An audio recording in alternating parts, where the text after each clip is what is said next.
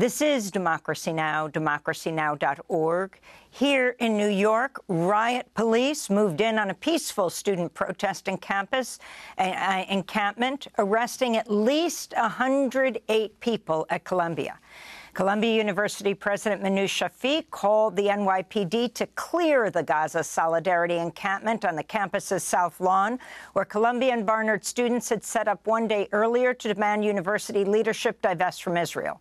New York Police Chief John Chell said Shafik identified the demonstration as a clear and present danger, but that officers found the students to be peaceful and cooperative. Shafik warned all students participating in the encampment would be suspended.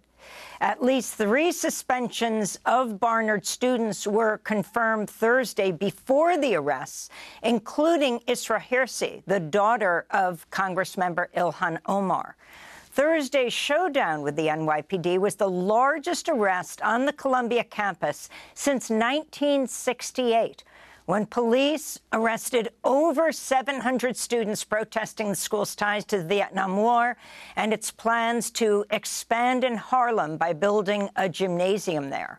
Following the arrests yesterday, students gathered on the campus throughout the night as large protests continued and are ongoing. Students got support from many Columbia faculty online and a visit in person from Union Theological Seminary professor Cornel West, just nearby, who's also a 2024 presidential candidate. Democracy Now! spoke to Professor West after he climbed a fence to visit with the encamped protesters. Well, you know, in light of our stand in deep solidarity with our precious Palestinian brothers and sisters who are undergoing vicious genocide, wrestling with apartheid conditions for so long, and still being ethnically clean, we want the world to know that, that their suffering does not have the last word. There's resilience and there's a willingness to fight.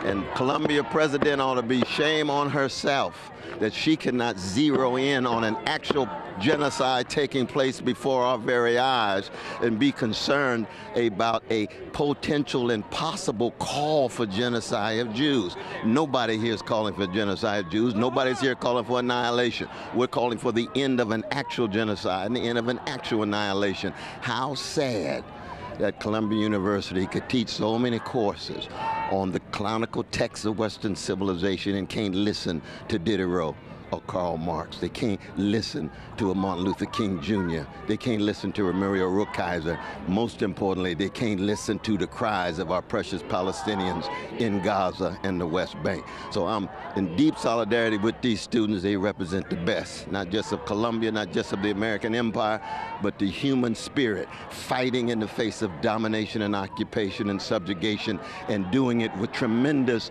determination. That's presidential candidate and Union Theological Seminary professor Cornel West speaking to Democracy Now! at Columbia University in the midst of the protests. Special thanks to Hannah Elias. Um, President Shafik called in the New York police a day after she testified in the U.S. Congress.